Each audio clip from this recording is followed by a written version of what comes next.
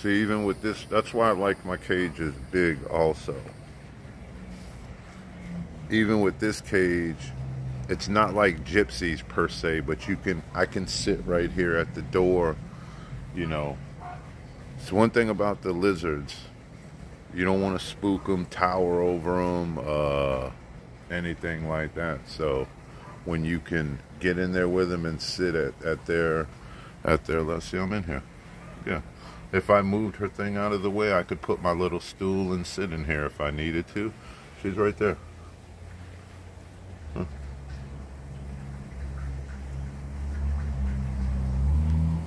She's right there.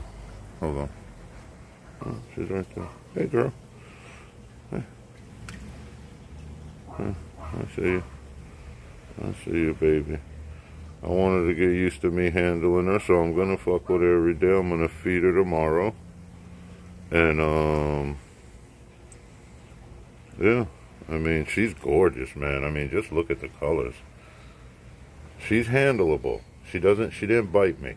She hisses a little and puffs.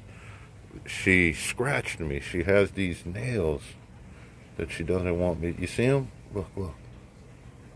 Oh, did you? No, that's how they are. See them? Look. See the nail? It's ginormous. See it? Look. It's right there. It's huge. She's not going to let me touch it.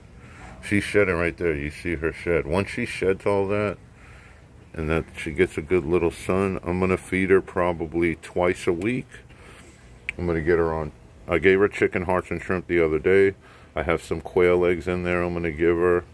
Uh, I'm going to give her some fish, tilapia. I'm going to keep it the same thing as gypsies.